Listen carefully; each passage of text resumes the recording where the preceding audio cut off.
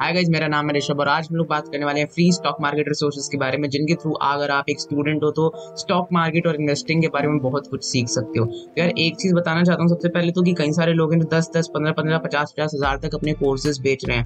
तो वो क्या करते हैं? दो चार किताबों की नॉलेज को आपको उस कोर्स में प्रोवाइड कर देते हैं और आपसे इतनी मोटी फ़ीस ले लेते हैं। अब मैं ऐसा नहीं कह रहा हूँ कि उनके कोर्सेज बेकार हैं, वो एक्चुअल में नॉलेज प्रोवाइड करते हैं दैट इज़ यूजफुल बट मैं ये कहना चाहता हूँ कि आप सेम नॉलेज को अक्वायर कर सकते हो फ्री में राइट वेरियस रिसोर्सेज के थ्रू जो मैं बताने वाला हूँ इन्हीं के थ्रू मैंने सीखा है। और यार, एक ऐसा जो है टॉपिक है जिसके बारे में आपको सीखना ही सीखना चाहिए। बेशक से अभी आप इन्वेस्ट नहीं कर रहे हो, लेकिन कल को इन्वेस्ट करोगे जब दो पैसे कमाने लग जाओगे। बाकी यार, तुम्हारे ऊपर भी डिपेंड करता है। अगर तुम्हारे पास इतना पैसा है फ्री में आग लगाने के लिए तो लगा दो भैया आग ले लो कोर्सेज नहीं तो तुम फ्री में भी सीख सकते हो। ये सारे के सारे कोर्सेज हैं, एकदम लेजिट कोर्सेज हैं, सारे लेजिट रिसोर्सेज हैं। एक पैसा तुम्हारा नहीं लगने वाला। तो जो पहला रिसोर्स है दैट इज़ वार्सिटी अब अगर तुम एकदम बिगनर हो ना तो मैं तुम्हें रेकमेंड करूँगा, तुम जीरोधा वार्सिटी पे चले जाओ।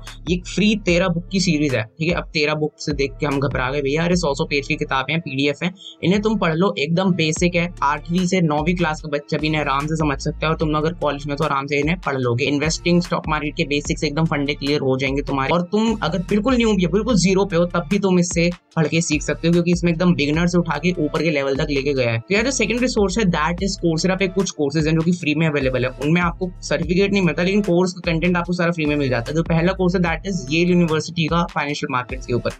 अब तुमने क्योंकि वार्सिटी को रीड कर लिया, अब तुम इस पे आ सकते हो। इसके थ्रू तुम्हें बेसिक जो फंडे है स्टॉक मार्केट के, वो क्लियर कर दिए गए हैं और बहुत ज़्यादा अच्छे से फाइनेंशियल मार्केट्स को समझाया गया है। एकदम सिंपल लैंग्वेज में। लोग हैं जिन्हें की जो है ट्रेडिशनल मेथड से पढ़ना ही पसंद है ब्लैक बोर्ड की मदद से तो उनके लिए काफ़ी अच्छा कोर्स है। इसके बाद आते हैं हम यूट्यूब यूनिवर्सिटी के ऊपर। अब यार, आज की डेट में अगर तुम्हें खुद को एजुकेट करना है ना तो उसके लिए तुम्हें पेड कोर्सेज के ऊपर या किताबों के ऊपर ही जो है रिलाय करने की ज़रूरत नहीं है। तुम यूट्यूब यूनिवर्सिटी से बहुत कुछ सीख पाओगे।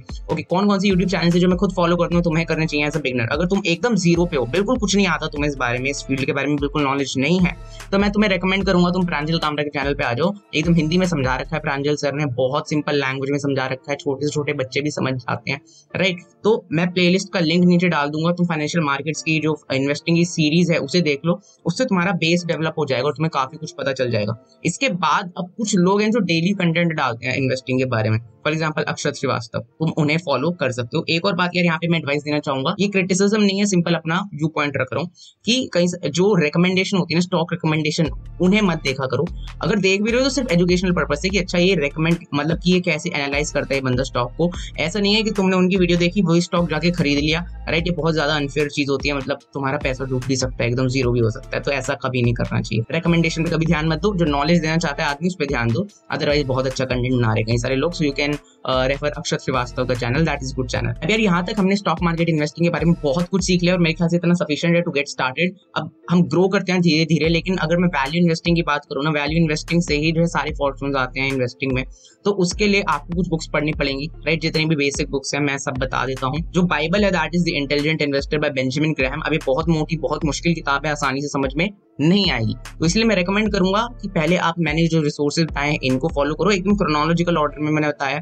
इसके बाद जब आप इसे उठाओगे तो बड़े आराम से पढ़ पाओगे, बड़े आराम से समझ पाओगे। बेंजामिन ग्रैहम जो है वॉरेन बफेट के प्रोफेसर थे। बहुत अच्छी किताब है, अब तक की बेस्ट किताब माना जाता है लेकिन इसमें यार एक प्रॉब्लम है कि किताब बहुत ज़्यादा पुरानी है। बहुत लगभग सौ साल पहले लिखी गई थी। और जो है, इसमें ज़्यादातर जो है फॉरन के बारे में बताया गया है। वहीं पे वार्सिटी में जो है, तेरह बुक की जो सीरीज़ है, जो छोटी छोटी बुक्स हैं, उनमें इंडिया को इंडियन कॉन्टेक्स्ट को ध्यान में रख के वो लिखी गई है। तो आप उसे रेफर करो। इसके बाद आप बेंजामिन ग्राम की बुक को पढ़ो द इंटेलिजेंट इन्वेस्टर तो आपकी फंडे क्लियर हो जाएँगे। इसके अलावा आप पीटर लिंच की बुक्स पढ़ सकते हो one up on wall street और लर्न टू वन अब ये सारी किताबें ना खरीदने की ज़रूरत नहीं होती, इन सबकी ऑडियो बुक्स आएँगी यूट्यूब पे, जिनका लिंक मैं डिस्क्रिप्शन में डाल दूँगा तो आप फ्री में जो है सुन सकते हो। हमें ऐसा लगता है कि हमें कुछ भी सीखना है तो उसके लिए पैसे चाहिए, हमें कुछ भी स्टार्ट करना है उसके लिए पैसे चाहिए, लेकिन एक्चुअल में ऐसा नहीं होता।